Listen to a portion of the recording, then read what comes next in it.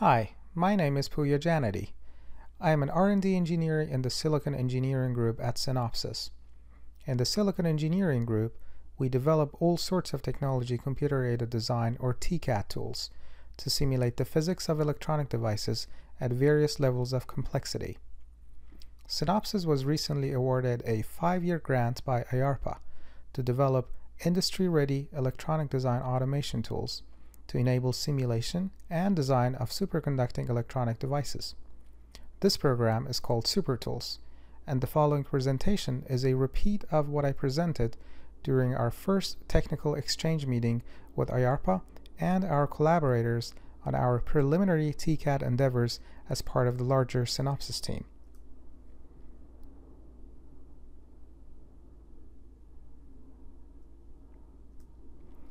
We would like to gratefully acknowledge the support of the Office of the DNI, IARPA, and the ARO, as well as all the folks from the SCE community who are providing us helpful guidance and advice to make this project a success.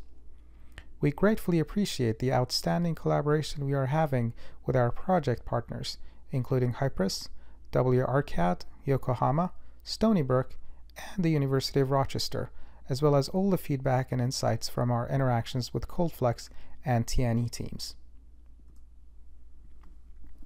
Superconducting electronics holds a niche potential in advancing the electronics industry, such as circuits that can operate at sub-terahertz frequencies to power consumptions and voltage levels that are orders of magnitude smaller than those in the CMOS technology. I will start by briefly explaining what TCAD is and is not. Then I will motivate my talk by looking at a building block of superconducting electronics, a Josephson junction. I will then go over basic theories of conventional superconductivity and consider their pros and cons for TCAD simulation, and then we'll conclude my talk. What is TCAD? Well, per the Wikipedia definition, TCAD is short for Computer-Aided Design, a branch of electronic design automation that focuses on physics-based simulation of semiconductor device fabrication and operation. As you can tell, this definition does not cover superconducting electronics. Therefore, it is certainly our goal to contribute augmenting this definition by the end of the SuperTools program. Often TCAD is mistook with SPICE simulation. TCAD is not SPICE. SPICE usually makes use of analytical and formulaic ansatz to describe the high-level behavior of a circuit element and is good for simulating relatively large circuits comprised of thousands of transistors, whereas TCAD focuses on one or two devices at a time, but simulates them at great detail. Because of this, TCAD simulations are comparatively much slower than SPICE simulations and need much more computational power to carry out. As I mentioned, one of the strengths of TCAD is first principle simulation of physical phenomena down at the microscopic or nowadays really nanoscale level. This gives TCAD its predictive power that can even be exploited to predict certain device behavior before it's even manufactured or tested. TCAD is also used as a learning tool by device designers and physicists to understand the intricate phenomena that happen at the microscopic level. This is crucial in today's technology, where electronic devices are so complex that no single formula or trend can describe their behavior. Using TCAD tools, device designers can research the effect of various design parameters and experiment with new forms of devices and materials to find the most efficient path toward the next technology generation. Okay, having briefly seen what TCAD is, let's take a look at the building block of superconducting electronics, Josephson junction. A Josephson junction, in its simplest form, is two superconductors separated by an intermediate layer. This intermediate layer, often called a weak link, can be an insulator, a normal metal, or even another layer of superconducting material. What is amazing about superconductors is that their quantum state can, at a high level, be described by a single wave function, or order parameter, despite being macroscopic in size. In fact, superconductors are closest to what we can call macroscopic embodiment of quantum objects.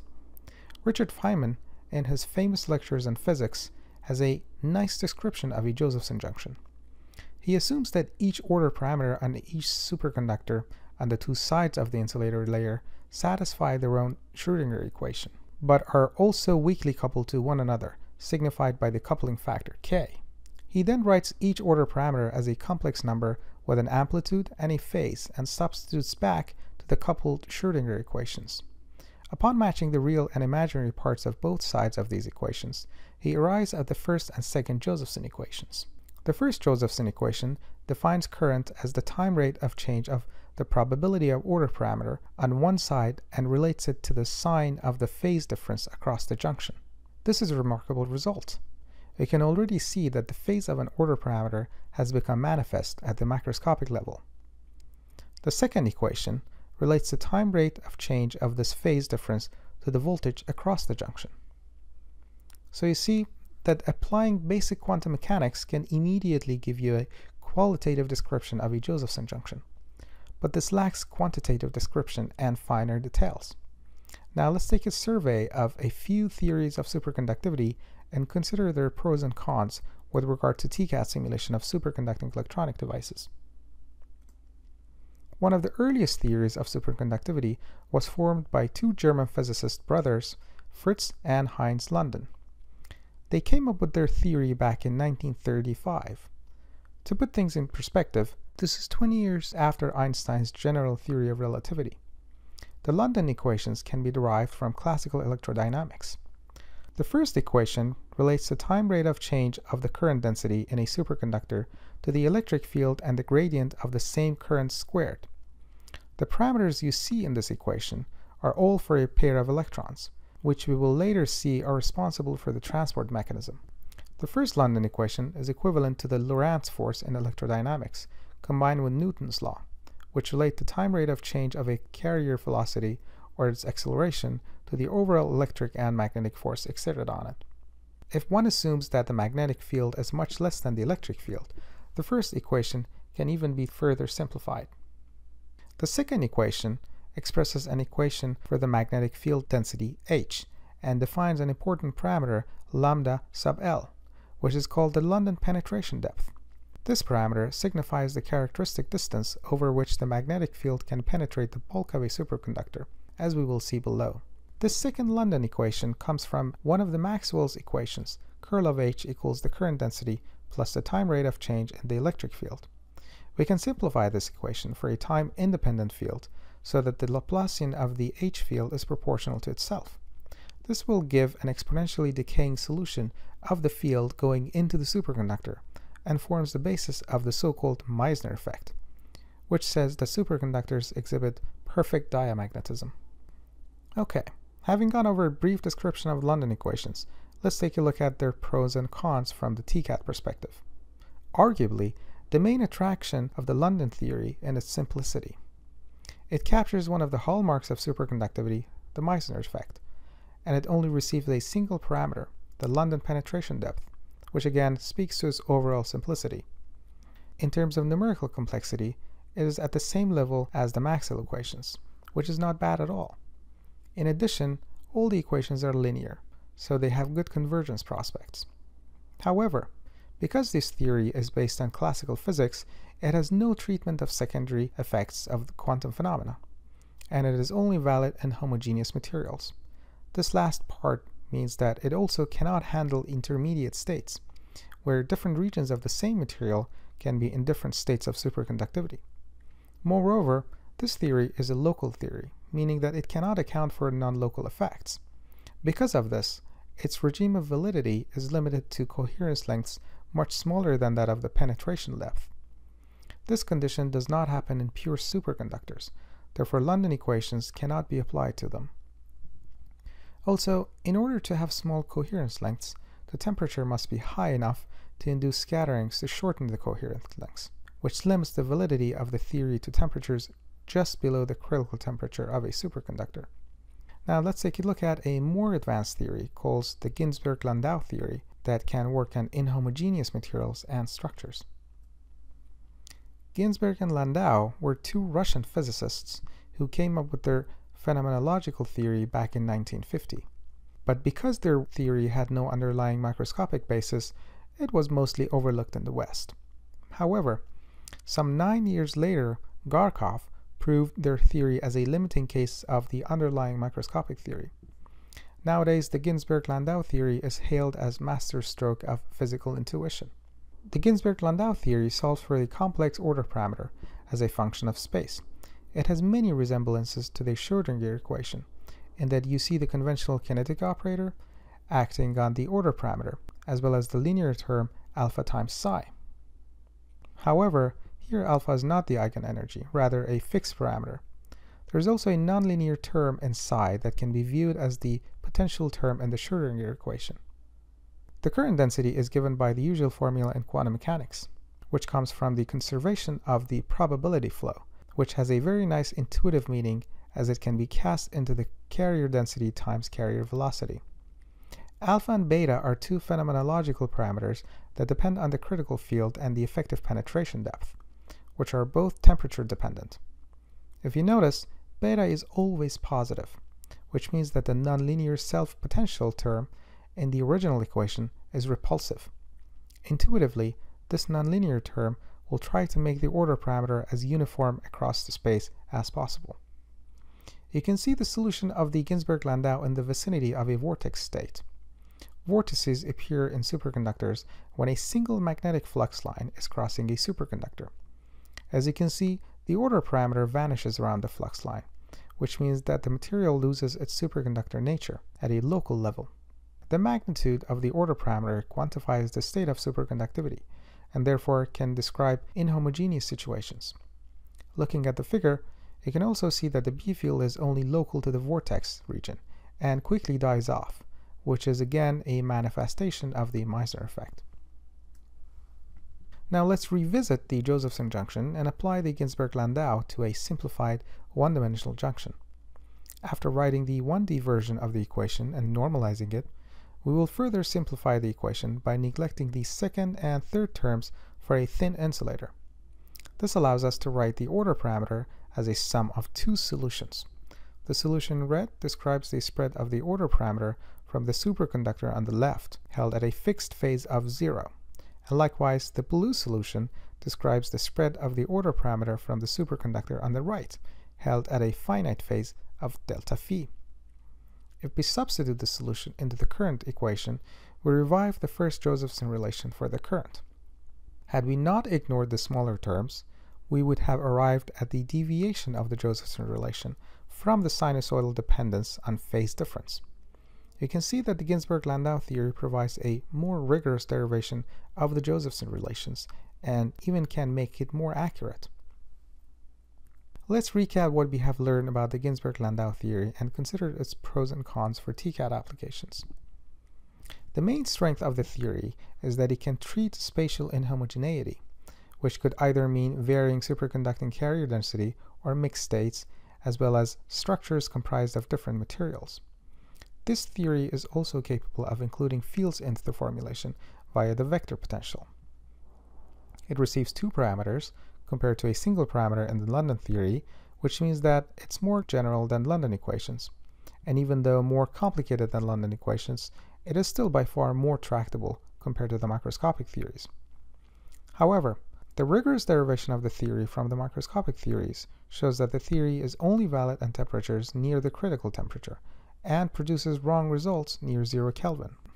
The nonlinear nature of the differential equation necessitates use of iteration in arriving at a solution, which means more computation. Moreover, the same nonlinearity means achieving numerical convergence might not always be so easy. From a physics standpoint, because the theory describes a superconductor with a single order parameter, it does not account for secondary effects such as excitations and quasiparticle tunneling. Okay, now let's take a look at the most famous also the first microscopic theory of superconductivity, the BCS theory. The microscopic theory of superconductivity eluded physicists for decades, but it was eventually developed by three Nobel laureates, John Bardeen, Leon Cooper, and John Schrieffer in 1957, about seven years after the Ginzburg-Landau theory. The basic premise of the BCS theory is formation of Cooper pairs, which are two electrons bound to one another through an attractive force. The BCS theory successfully explains conventional superconductivity by demonstrating that the Fermi sea of electrons in a normal metal is unstable against the formation of such Cooper pairs. Quantum mechanically, this means that the ground state of a normal metal is no longer a true ground state, below the critical temperature, and its energy can be further reduced through formation of Cooper pairs. The attractive force before a pair of electrons has its roots in phonon-mediated interactions. Here you see two Feynman diagrams for each interaction, where a retarded propagator is shown on the left and an advanced propagator is shown on the right, both from the point of view of the incoming particle k. You can see that in the left figure, particle k emits a phonon that is later captured by another particle with opposite momentum minus k. On the right, a phonon is emitted by particle k in the future and is received by particle minus k in the past. Now let's see what the superconductivity ground state looks like. Let's start by pairing up electrons with opposite momentum and spin from stationary spin zero Cooper pairs. Mathematically, this can be done by applying pairs of creation operators on the vacuum state. However, as you can see, this is extremely cumbersome and conveys little physics. The genius idea by BCS was to take the occupancy of each pair to depend solely on the average occupancy of other pairs. This is a form of a mean field theory approach in physics. The ground state in the BCS theory therefore takes the form of product of states where there is a certain chance for a particle pair to have been formed, denoted by the probability amplitude V sub k, and its complement the probability that it has not been formed, u sub k. Of course, u and v need to be normalized to unity for the probability to make sense. The first thing we notice is that with this BCS ground state, we have lost particle number definiteness. We can see this more clearly if we expand the product to express the ground state as a superposition of states with different number of particle. However, this is no cause for concern as simple number crunching shows that the particle number distribution is very sharply peaked around the average value.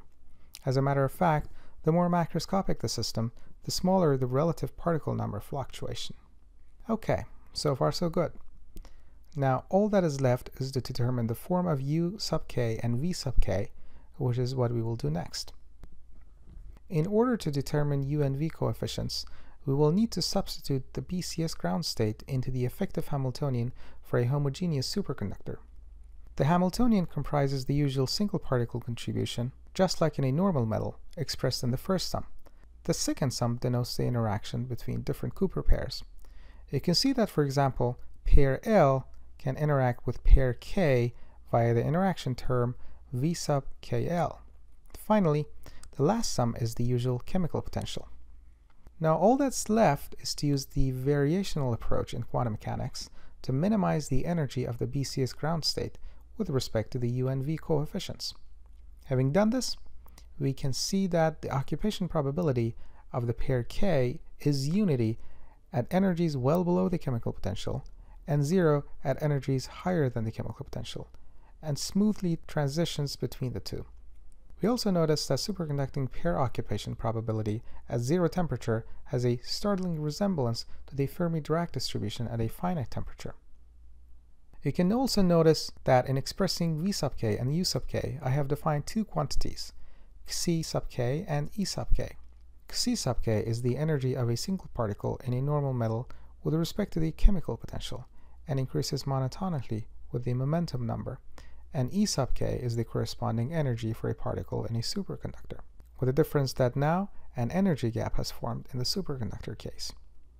I will talk a bit more about the energy dispersion in a superconductor, but before doing that I would like to give some physical intuition as to the nature of this energy gap and tie it to a couple of interesting notions. Let's start by looking at the term F sub L that is used in the definition of the gap. F sub L is called the condensation amplitude, and is an extremely important quantity in the BCS theory. You can see that mathematically it sandwiches between the ground states two annihilation operators, annihilating a whole pair k.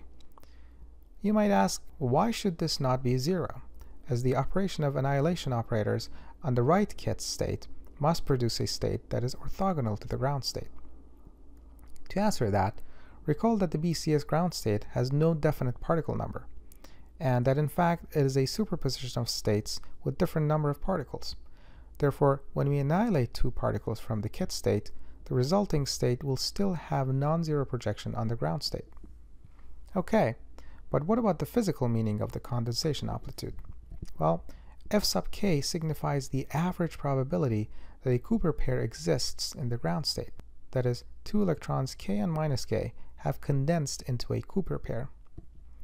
Now, armed with this notion, looking at delta sub k, we see that it is equal to the sum of scattering from all pairs L into the pair K times the probability that pair L has formed in the first place.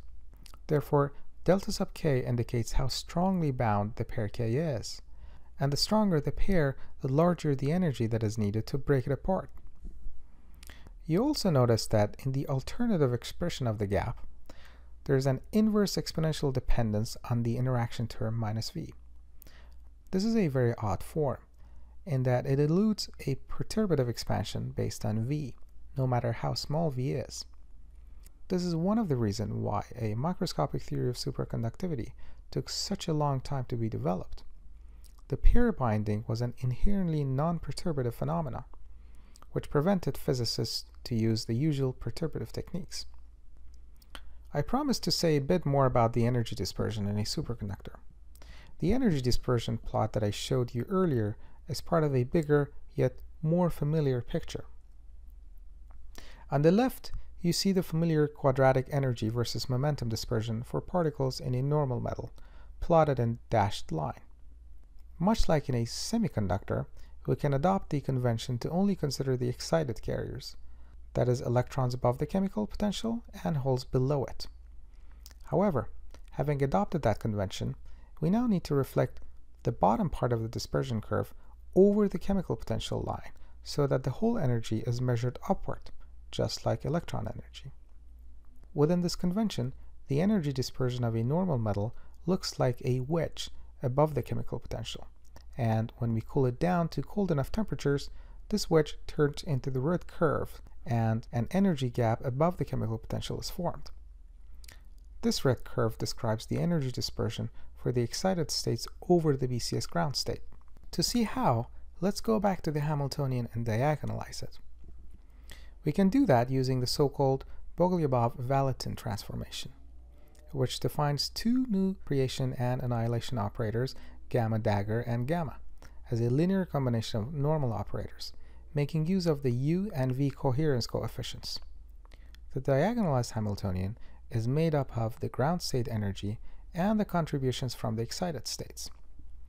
I would like to briefly discuss the density of states in a superconductor before we look at how to use the BCS theory. In the figure below, the density of states in a superconductor is plotted in red and contrasted to the normalized density of states in a normal metal drawn in blue. As evident from the figure, there are no states in the forbidden energy gap, as it should be.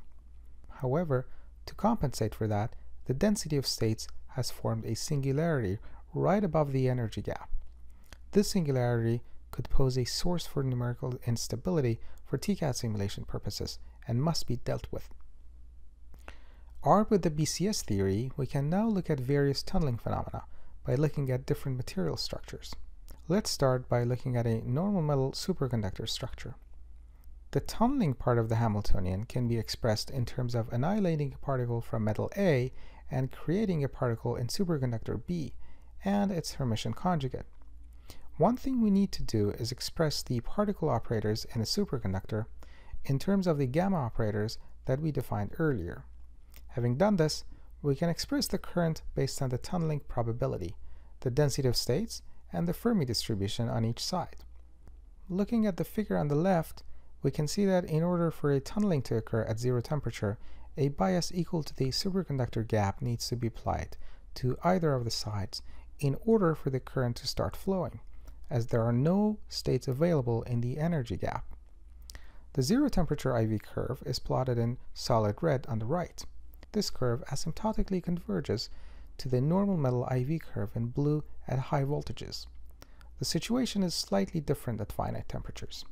We can see that there is a non-zero current even within the energy gap, plotted in dotted red, which is due to the contribution of the Bogoliubov excited particles, also called bogolons. As another example, we can also analyze tunneling between two superconductors. Here, the zero temperature current only starts flowing when a voltage bias larger than the sum of energy gaps of both superconductors are applied. The discontinuity in the zero temperature current at the onset of current flow is a direct manifestation of the singularity in the density of states. Similar to the normal metal superconductor case, we see the secondary effect in dotted line due to the excited particle contribution at finite temperatures. Okay, we took a rather deep dive into the BCS theory and saw it in action. Now let's analyze its strengths and weaknesses. Unlike the Ginzburg-Landau theory or the London equations, the BCS theory is valid in all temperatures, down to 0 Kelvin. As a matter of fact, it can be used to analyze temperature-dependent characteristics of superconductors and their thermodynamics. Moreover, the BCS theory introduces excitations and paints a picture for particle tunneling, among other things. It also has a larger set of parameters such as the energy dispersion and density of states. But perhaps the main drawback of the BCS theory is its inability to address inhomogeneity. For example, in the case of the position-dependent energy gap parameter. This is also the reason why we needed to study tunneling between materials in an ad hoc way, assuming that the tunneling matrix is already provided to us. Moreover, including external fields in the theory is quite cumbersome. In terms of numerical complexity, it is by far the most demanding of the theories we have considered so far, mainly due to the added dimension of energy for particle enumeration. Some of these drawbacks, especially the inability of the BCS theory to treat inhomogeneity, are serious let's look at other candidate theories that can resolve some of the limitations of the BCS theory. One such candidate is the Bogoliubov-de theory, which is a generalization of the BCS theory. It is even valid when there is a spatial variation in the material composition, potential, energy gap, or even in the presence of scattering centers. The basic premise of the theory is that in these situations, momentum is no longer a good quantum number, and one needs to use the quantum field operators in the position representation. These field operators make use of the Bogoliubov-Valatin transformation, where now the u and v coherence coefficients are position dependent. Of course, the field operators are defined in such a way to satisfy their own commutation relations. The effective Hamiltonian in this theory resembles the simpler BCS Hamiltonian that we saw earlier, except that the four operator interaction terms have been replaced with two operators corresponding to a single pair times the average of all other pairs, denoted by the position-dependent delta. Again, you see the signature of the mean field theory, where the many-body interactions are replaced by interactions between the single pair and the average of the rest of the system. However, because this delta parameter depends implicitly on the field operators, we need to use iterative techniques to solve for delta and the fields self-consistently.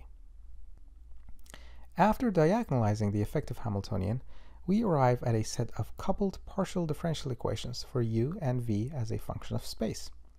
It is interesting to note that setting delta equal to 0 recovers the ordinary Schrödinger equation for the normal metal. Now that we have set up the basic theory, let's look at the simplest non-trivial example, uniform current in a pure superconductor. In this case, the phase of the gap parameter will be position dependent, and the u and v functions will describe an electron and a hole bound to form a Cooper pair, with the difference that they now carry a non-zero center of mass. Note that we are no longer pairing time-reversed particles, like in the BCS theory. In fact, the BCS theory is of no use here, as the Cooper pairs in that theory cannot carry current. Moreover, if we look at the energy of the pairs, you discover that they are skewed proportionally to the supercurrent velocity. This also means that the delta parameter is no longer the same as the energy gap. As another example to showcase the power of the Bogoliubov-de Gennes theory, let's look at what happens when a normal metal superconductor boundary is impinged by an incoming electron from the normal metal side. This electron, which is shown in blue, cannot enter the superconductor in isolation and needs to enter as a pair. To form such a pair, you can imagine to add and subtract an impinging hole, where the electron pairs up with the added hole and enters the superconductor, and an extra hole is reflected back into the metal. which is shown in green. This phenomenon is called Andreev reflection and is the basis for metal superconductor transport. You can further imagine that if there was a second superconductor to the left of the metal, which is not shown here, the reflected hole could do something similar, which results in another electron being reflected off that superconductor, and this process could happen multiple times as a chain of events. This would give rise to bound states in the intermediate layer called Andreev states. To sum up, we saw that the Bogoliubov-de-Gennes theory generalizes the BCS theory very elegantly and can handle spatial inhomogeneity as well as excitations and quasi-particle tunneling in a much more direct way. The only drawback is that of numerical complexity. Not only are parameters and fields position dependent now, but there's an extra layer of computation that is needed to achieve self-consistency. Moreover, the solution size is now doubled, as we need to solve for particle and antiparticle states separately. The final method I would like to briefly mention is the Keldysh non-equilibrium formalism. This is a fully quantum mechanical framework that extends the equilibrium quantum field theory to the non-equilibrium case. The basic constructs in this theory are various flavors of the Green's function, which are very similar to particle propagators, yet are richer than them. This provides a very powerful and general approach to solving the Bogoliubov-de-Gennes equations of superconductivity that is capable of treating coherent and non-coherent transport in a non-equilibrium setting. Of course, with everything great, it comes with its downsides, one of which is that it's extremely computationally demanding. It also involves some complex physics and math. In conclusion, I discussed that the EDA tools for superconductivity are lacking and that the SuperTools program is aiming to address this issue to enable proliferation of superconducting electronic devices. In particular, there are virtually no TCAD tools available in the industry. I also reviewed some of the prominent theories of superconductivity from basic to advanced and argued that because of the quantum nature of superconductors, they are inherently non-intuitive. I also gave the pros and cons for each theory from the TCAD implementation perspective, with an emphasis on the numerical complexity. Slow computation is a computational scientist's bane of existence. The more physical mechanisms one would like to capture, the more sophisticated the model must be, which leads to slower computation time. Therefore, we need to be creative and strike a balance between accuracy, model sophistication, and speed. This is Pooya Jannaty from Synopsys. Thank you for watching.